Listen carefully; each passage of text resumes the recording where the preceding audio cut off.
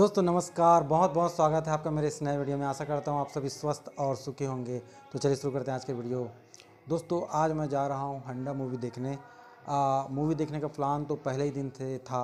शुक्रवार पाँच जुलाई से ही मूवी लगी है तब से लेकिन आ, मेरी बेटी का स्कूल का टाइमिंग कुछ इस तरह से है कि वो बिल्कुल भी फ़िल्म देखने के लिए सूटेबल नहीं था। बारह पैंतीस में क्लास लगती है मेरी बेटी का तो बारह बजे का शो मैं देख नहीं सकता और उसकी क्लास छूटती है सवा पाँच बजे। तब भी मैं तीन से छः वाला शो भी नहीं देख सकता था, इसलिए नहीं जा पाया। आज संडे इसलिए जा रहा हूँ। बहुत तारीफ़ें सुनने में आई है मूवी की। अब मैं खुद देखूँगा तो आपको बताऊँगा कि इस मूवी सचमुच इतनी तारीफ़ के लायक है कि नहीं है। ठीक है दोस्तों एक करोड़ तीस लाख के लगभग दो दिन में इस फ़िल्म ने बिज़नेस कर लिया है ऐसा पता चल रहा है। आ, तो देख के मैं बताता हूँ दोस्तों वीडियो में बने रहिएगा।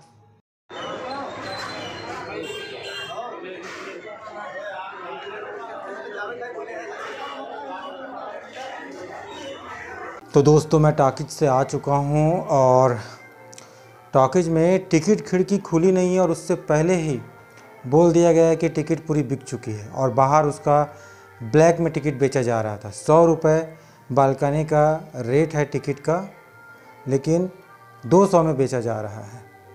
खुलेआम खुलेआम ये सब हो रहा है दोस्तों। तो इसका मैं क्लिप बनाया हूँ, आप लोग भी देखिए और आप ही लोग बताइए कि ये सही है। तो दोस्तों देख सकते हो किस तरह धड़ल्ले के साथ खुलेआम ब्लैक में टिकट बेची जा रही है, देख सकते हो और लोग खरीद भी रहे हैं। क्या करें, देखने जो आए हैं। मेरे लोगों से रिक्वेस्ट है कि इस तरह ब्लैक में टिकट ना खरीदें। अगर आपको दो सौ रुपये में ही मूवी देखनी है तो मॉल चले जाएँ। राजनांदगांव के सिल्वर स्क्रीन में जाकर मूवी को देख लें। पर इस तरह से ब्लैक में टिकट खरीद कर आप इस तरह से इस धंधे को बढ़ावा ना दें। ये बहुत ही गलत परंपरा शुरू हो रही है। तो दोस्तों, आप लोग अपने आँखों से देख सकते हैं किस तरह से ब्लैक में टिकट बेची जा रही है। तो दोस्तों, देखा आपने? ये सब चीज़ें बंद होनी चाहिए। आप लोग भी ऐसी वीडियो बनाकर सोशल मीडिया पर डालिए, ताकि इससे लोग जागरूक हों और ये जो चल रहा है धंधा, ये बंद हो। भाई, अगर आपको टिकट बढ़ाना है तो डायरेक्ट बढ़ा दीजिए, पर इस तरह से ब्लैक में टिकट मत बेचवाइए। मुझे लगता है इसमें टाकिस प्रबंधन भी मिला हुआ है। ऐसा मुझे लगता है, सच्चाई मुझे नहीं पता, क्योंकि पूरी की पूरी टिकट, बिना टिकट की खुले हुए बिक जाना और फिर उसी कंपाउंड में ही टाकिज के दो दो सौ रुपये में बेचना, ये सब क्या है? इसमें ज़रूर मुझे मिली भगत नज़र आ रही है, अब क्या है? ये तो जाँच का विषय है, पर ये बंद होना चाहिए, क्योंकि हर व्यक्ति दो सौ रुपये अफोर्ड नहीं कर सकता।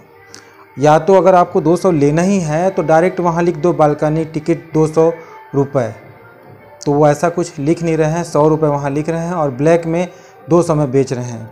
मैं पुलिस प्रशासन से भी रिक्वेस्ट करूँगा कि वो जाएँ विदाउट ड्रेस जाएँ और पता लगाएँ, ये खुलेआम हो रहा है। ब्लैकनिंग जो भी लाइन में लगे हैं बालकनी में टिकट लेने के लिए मूवी का तो उनसे बताया जा रहा है कि पूरी बिक चुकी है। आपको अगर चाहिए तो दो सौ रुपये दीजिए प्रति व्यक्ति और टिकट ले लीजिए। तो इस तरह का हो रहा है दोस्तों, धंधा चल रहा है, ये बंद होना चाहिए।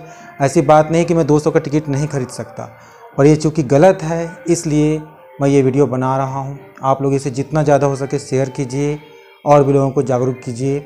और अगर आप लोग जाते हो मूवी देखने तो ये इस प्रकार का वीडियो भी आप लोग भी बनाकर सोशल मीडिया पर डालिए। ठीक है दोस्तों? चलिए इस वीडियो में इतना ही था। मिलता हूँ अगले वीडियो में, तब तक के लिए बहुत बहुत धन्यवाद। Bye bye